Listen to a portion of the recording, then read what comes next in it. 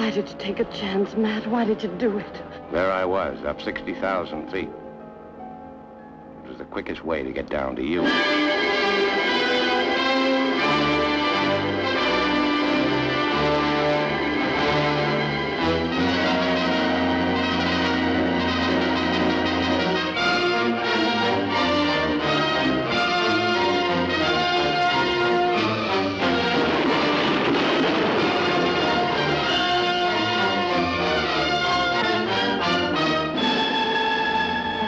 Record straight, Matt.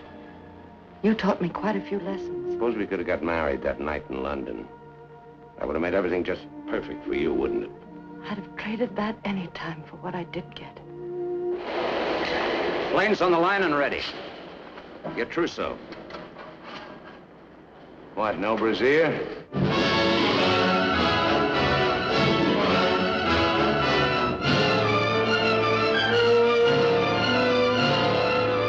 Maybe he did get me the job, but I'm keeping it. Even if it means double-crossing Carl. For what that 30,000 bucks will mean to me? Yes. Maybe I did step on a few toes to get it, but I got it.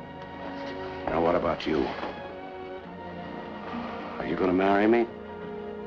Or are you going back to California to bandage up the toes I've stepped on?